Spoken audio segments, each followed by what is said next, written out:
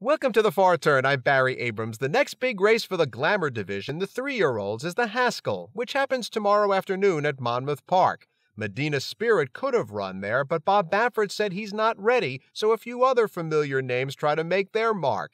Mandaloun might well be named the Kentucky Derby winner. He won at Monmouth just a month ago.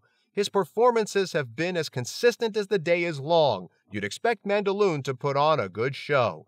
Midnight Bourbon's intriguing here. He seemed like a come from behinder, and those kinds of horses don't win at the Jersey Shore. But in the Preakness, Midnight Bourbon sat just off the leader, and Rombauer overtook him. But tomorrow I'd look for Midnight Bourbon and Mandaloun to sit just off the pace, and with Hot Rod Charlie slug it out to the line. But just remember, riders can't use their crops for encouragement, just hands and heels, and kisses if the jock's so inclined.